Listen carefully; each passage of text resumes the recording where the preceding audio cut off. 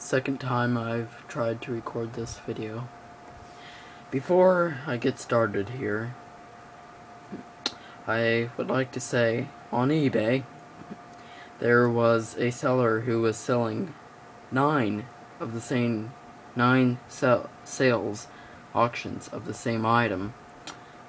What that item was, a set of uh, mid to late 90s uh, Altec Lansing uh, multimedia speakers and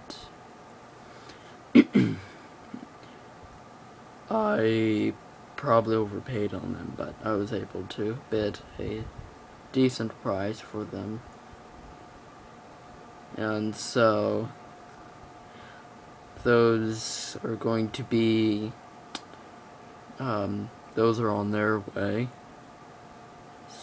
so they haven't arrived yet but once they do get here there's going to be a video on them definitely um, this video is definitely not about the iMac it's going to be scratched probably once I figure out a way how to open it without the CRT cracking yeah, there's multiple issues. Long story. But I am going to show you. Well, I'm getting ahead of myself here. Without further ado,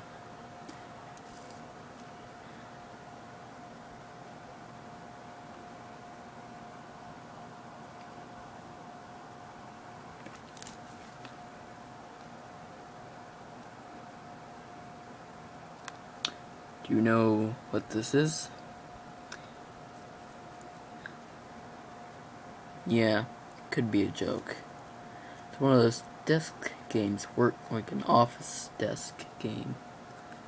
a little putting practice, like a golf, a, a little golf things. The clubs are probably like that big. It's really cool actually. You can see it's brand new in the packaging. Got it for one dollar at the thrift store. Looked online at the retail price was uh, ten dollars and ninety five cents. So that was a, a real score. Let's look on the back here or the front. Putting practice. There's a picture of what it includes. The contents.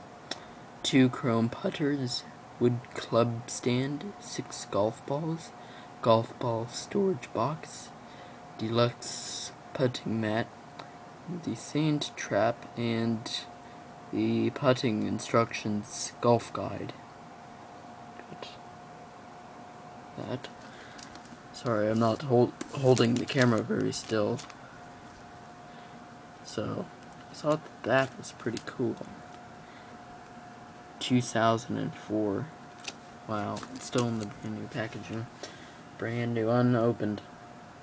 So, I'm going to uh, unopen them and go test it out and play with it. Actually, I've had it for a couple days now. I just had it up in the basket. Alrighty.